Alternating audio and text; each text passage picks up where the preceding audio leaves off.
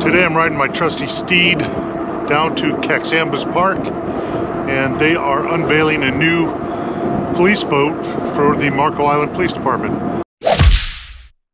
This is going to be really cool. Uh, who doesn't like police boats with flashy lights and sirens and all that good stuff but um, seriously the capabilities are going to be increased for the Marco Island Police Department and all first responders deserve the best equipment out there. Um,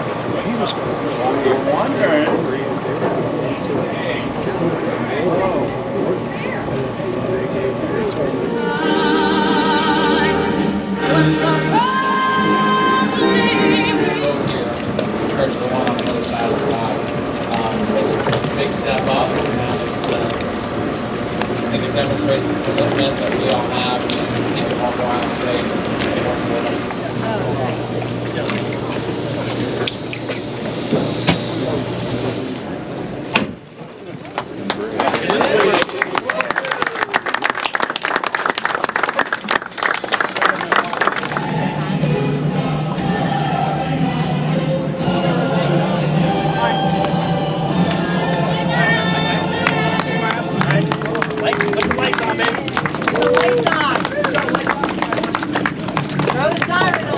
Siren on.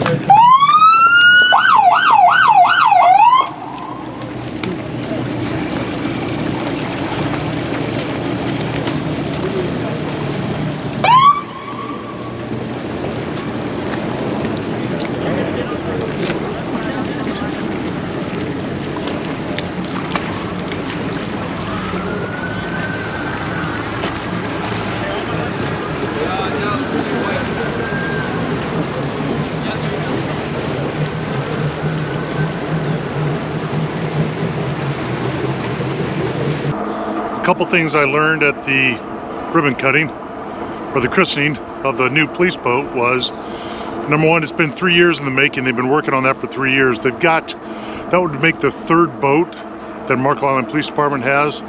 Um, they had two up until this point, but one is going to be taken out of service and I guess it's got blisters on the hull. You don't know. In rough waters, it could break up. It's really uh, in poor shape. They've gotten the full life out of that. Also, there were a number of rescues. Uh, the one officer said that in the in the wintertime, the waters get rough, and there's uh, rescues out there that they can't do because uh, the one smaller police boat that you saw in the video can't handle the offshore conditions. So this one will take them out just a little bit further. It's not, you know, not the end all be all, but it's going to give them more capability. Also with those two 400 horsepower engines, obviously that's going to help. Before they only had single engines. And then there's a dive door you saw on the side of that boat, and um, that'll help them uh, entry and exit of the entry and exit of the uh, boat when they have to do underwater type operations, recoveries, things like this. So much more capable. The chief said, and I know in the audio is probably you won't be able to hear much of what the chief said, but one thing she said was the three uh, individuals that designed the boat or um, put all the components together and and put the specs together so that they would get the boat that would serve them the best.